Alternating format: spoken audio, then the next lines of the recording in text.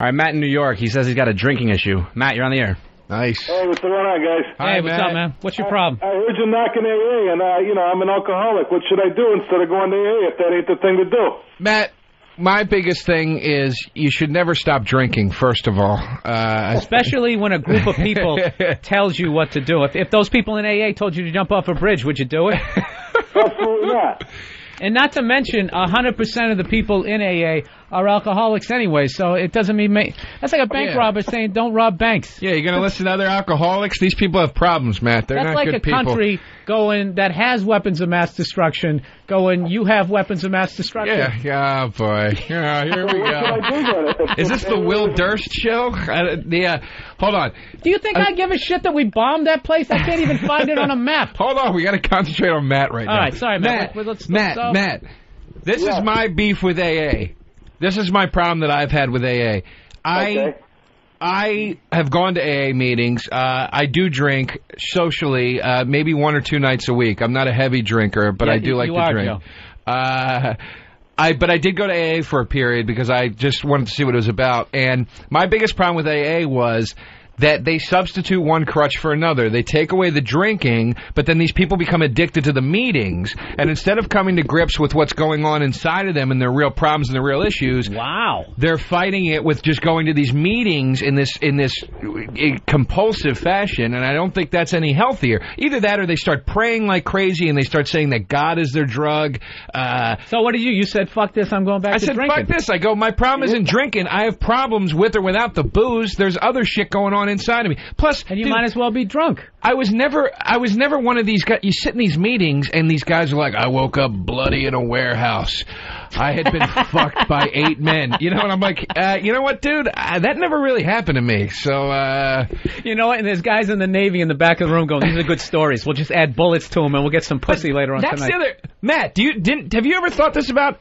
Oh, he's gone. I thought. Oh, I, he's I thought you- gone. yeah, I thought you were Okay. wrong. But you, you 100% agree with you. My dad has been in AA for probably eight, nine years already, and that's exactly what happens when people start going to AA. They just they give up the drinking. Well, in my in my father's case, it was it was uh, weed. He liked to smoke. So you They have up. meetings for that? Yeah, well, he he went to AA. They do have uh, marijuana as anonymous, but he went to AA. It's, it's the same thing. Anyway. But uh, yeah, he's and now he's instead of being addicted to smoking, he's addicted to going to these meetings. Yeah, it's cr- it's crazy. Like, you know, he he wanted to meet up with me uh, on Friday because he lives on out in Right. Staten Island, right? So he, he goes, uh, "Hey, you gonna be around at like three o'clock?" I'm like, "Well, I don't know. I, I might be. Why don't you give me a call?" He's like, "Yeah, I, I can't stay long. I, I got to make coffee at this meeting." So Yeah, who gives a so shit? when, when you were a kid, instead of taking you to baseball games, he'd take you to like weed meetings? No, well, this was this was before. I mean, he started going to AA meetings uh, after I was kind of grown. But I do remember like going to little league, and he'd disappear for forty minutes, and I never understood where he was going until And I whether up. you won or lost, he was cool with it? Yeah, exactly. Because he was going, he was going, you know, he was going down to like, you know, Field B to smoke a nice big joint. So. Dude, that's like the that's the my my buddy used to do such a funny joke about the meetings and the stories they would tell and how horrifying they were. And the punchline he would just go, ah, "I think I'm in the wrong meeting," and it's like so true because it's like it's almost like. It's almost like a pissing contest of sorts, where they they they go head to head with these stories, and it's like, oh yeah, you think that's fucked up? Well, one time I fucked a seagull. You know what I mean? You're like, uh, yeah, Well, you know, dude. people are You know? sitting there in the audience going, "Fuck, I can't follow that."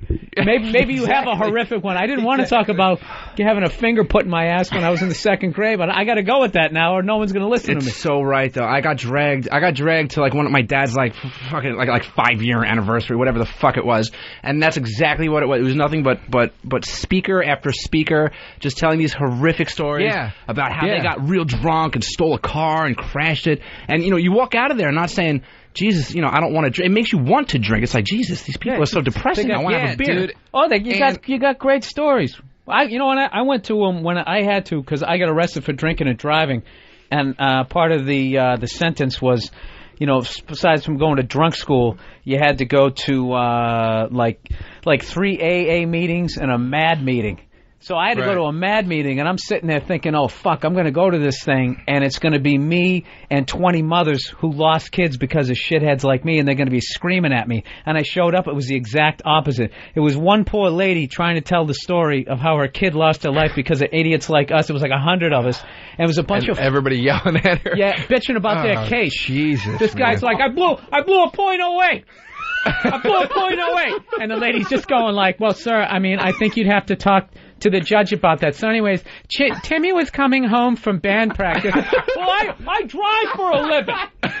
They ought to have a clause where you can drive during the day. And somebody goes, yeah, it's a grandfather clause. I call it the working man's clause. And she's going, okay, guys, okay. And then she's just like, so he got a flat and he went out to change the tire on the highway. And she's starting to, uh, dude. That fucking meeting, that changed changed my life. Jesus Where I was Christ. just like, I was sitting there, I was 21. I was in like my, my fucking fourth year of freshman year college, on my third college, and I just saw the demographic of fucking losers that I was in. That I didn't I, I didn't have to go, but the AA meetings were like, they they were hilarious. Like uh, it's like people were pitching scenes for the next uh, Animal House movie. Yeah. People were like, oh yeah, the fucking fishbowl of cocaine. And people like laughing. I just got arrested. I was in jail. I got fucked in the ass. yeah. Somehow I make bail, and next morning I'm right back at the liquor store. It sounds like it sounds like bachelor party. Oh yeah, you're waiting for Tom Hanks to come with a running donkey. through. yeah, dude. It's and and then the other thing is too when you try to leave when you and when you honestly say because I said at the meetings toward the end I said guys I don't think this is for me I think I might have jumped the gun I don't think I really want to be here I don't think I need to be here it's cultish man you know that's just denial and you have a problem and You're a control freak, you man. try to yeah you're you're you're running group. away and you need to stay and you need to stick it out and you need to this works if you work at it and help it, it you know and it's Do you know like, that twenty? Jesus, do you man. know that like like literally like forty eight percent of the people in AA are in Scientology. It's fucking true, man. I, I looked it up on uh, on uh, YouTube No, some no, kid's AA, video AA back AA backslash Scientology dot com. but if See, works this is different, man. I, I do my fucking research. Oh shit! Do we show. got a break? Ah, we can go for a little while. No, we can Oh, go. can we? Do we have any more? Usually people just hold up a little sign that we need to break rather than interrupting the flow of the show, but not Joe. Joe is so into the fucking behind the scenes. Dude, I'm grassroots, man. He just says it. I'm grassroots. I want the people to know the process, man. I'll tell you what I like. I like how Danny's dad is smoking weed while he's playing Little, Little League League, and people are wondering why the baseball players of his generation are doing fucking steroids. it's they're, they're, they're, your, your dad was the uh, Woodstock generation. Is that what he was? No, he, he I think he just missed out on that. He, he's not. I mean, he's. I think he's forty. Was it Korean War? Is your mom Asian? No, he was just doing what he needed to do. but uh, but you know, with the back, he was going back, doing what he needed to do. You, you ever sit through a little league game? It's fucking atrocious. It's gotta be. It's, you know, give the guy a Dude, break. how great must it be fucking high? it's watching a probably Little League game? It's probably like watching midgets play baseball. Either that, or it's like watching the seventh game of the World Series. If you get some really good shit, how fucking intense it is. but is Honey, can we go to Bed Bath Beyond? There's a fucking guy on third. But is is AA that bad if it works? Like for my dad, it works. Look, I would never, I would never, I would never sit here and try to argue that a guy in AA uh, going to meetings addictively is is worse off or even to a guy sitting in a bar drinking until his skin cracks. I've never heard anybody You know, in AA say I- it was a good thing. You know, I, so my point is, obviously, it does work. It is a lesser of two evils, but it's not a solution. And my, my that's my whole beef with it. It's like stop acting like this is a solution when it's not. It's a it's a it's a it's a misdirection to put your focus elsewhere. And you know, Joe, you- what are you trying to say? Are you you for AA or are you? you I'm against it. But how could you be against it if it works? Wait, say it again. I said, how could you be against it if it works?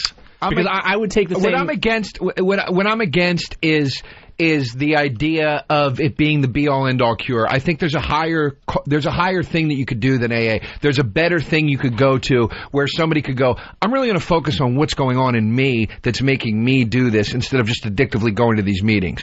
But if we don't have that, I'm not going to sit and say that a guy not drinking is worse off in AA. He might be equally an ass as much of an asshole or Dude, more of an asshole. That should be the name of his book. It'd be like that. uh Who's that? That that skinny whore who made? She did the CD, and like the the title of the CD was like nine paragraphs long. And if I had the reference, I could Oh, have done dude, the joke by now. That fucking chick. That should be your fucking AA thing. You just that, That whole, whole that whole paragraph of diarrhea that just came out of your fucking mouth should just be on the cover with you with you and, and your Lou Grant shirt, just with your hands in the air like I think that makes sense. what is that girl's name? Uh, Beyond the. Uh, she's not a whore, by the way.